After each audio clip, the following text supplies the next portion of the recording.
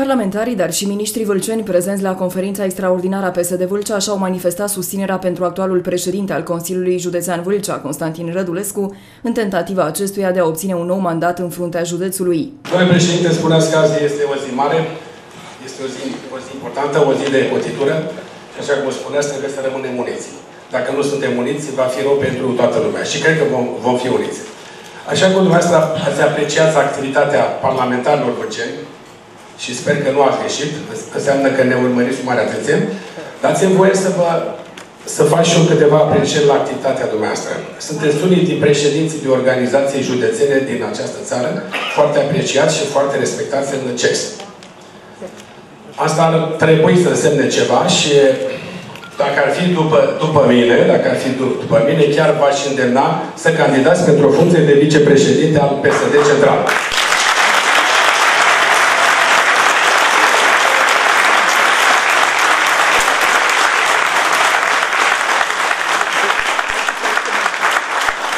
Și noi vă urmărim, parlamentarii Văcem, vă urmărim foarte atenți acolo la CEC, dacă știți foarte bine, ne tot întâlnim acolo, stăm la ușa CEC și vă urmărim și știm cine sunt acolo colegii dumneavoastră, știm și rezultatele lor, și, dar noi suntem mândri de rezultatele politice, de rezultatele dumneavoastră.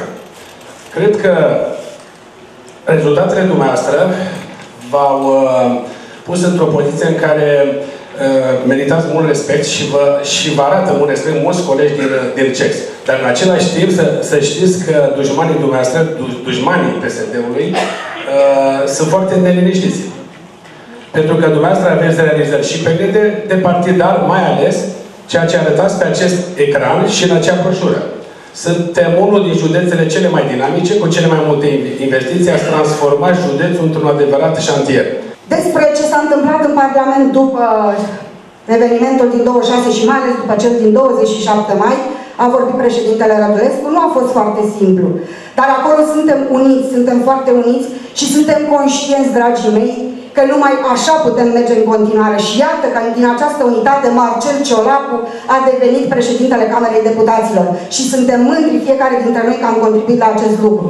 A venit o moțiune de cenzură scrisă pe colțul mesei, o moțiune în care nici ei n-au crezut, dar trebuiau să vină pentru că electoratului său le-au spus că vin peste noi, ne iau cu parul, ne dau jos de la guvernare, hai votați PNL-ul, hai votați USR-ul, asta este soluția. PSD-ul este un partid terminat.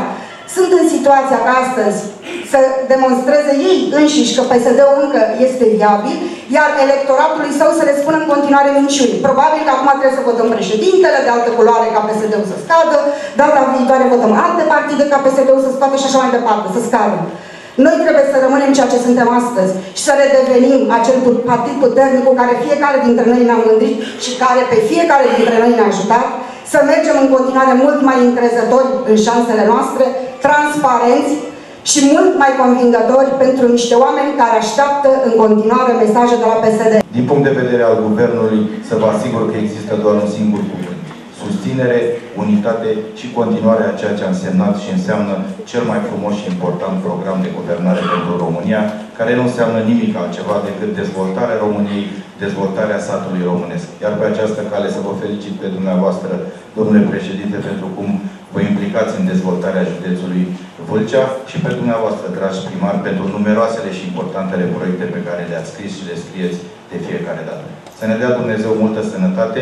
Eu cred în puterea fiecăruia dintre noi prezenți astăzi în sală pentru a redeveni din nou cel mai puternic partid din România. Doamne ajută! Vreau să știți că trimestrul 1 al anului 2019 reprezintă cel mai bun trimestru în vânzările de mașini noi din ultimii 10 ani.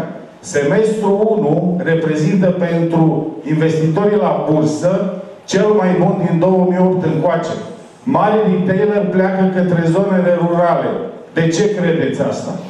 Pentru că forța, puterea de cumpărare, oamenii pot să-și permită să facă aceste achiziții. De asemenea, s-a vorbit și s-au trecut uh, în revistă aici, la nivel local, la nivel județean, acești 250 de milioane aflați în diverse etape nu sunt o promisiune. Ei se desfășoară în prezent. Nu fac eu uh, analize, da, poate avem uh, lucruri de făcut. Important este ca oamenii să afle lucr- despre lucrurile pe care le facem, lucruri bune. așa cum spune președintele Constantin Rădulescu, prietenul meu, în logica binelui, cu ajutorul lui Dumnezeu și al oamenilor pentru oameni, pentru comunitatea în acest județ. Că noi aici trăim și ne desfășurăm activitatea. Vreau să-l asigur pe președinte, de fapt mă adresez dumnealui, te asigur, domnule președinte, prietene, că îmi voi pune toată energia și priceperea aia, câtă e ea, pentru a obține tu un nou mandat de președinte al Consiliului Județean și de președinte al PSD, dacă e cazul, pentru că ar fi păcat ca cei care stau pe margine și aruncă cu mizerii nefondat, o să le răspundem la un moment dat. O să facem asta și în afară de faptele bune, să se așeze în fața realizărilor noastre. Toți parlamentarii vâlceni au fost incluși în lista celor 79 de delegați pentru Congresul PSD.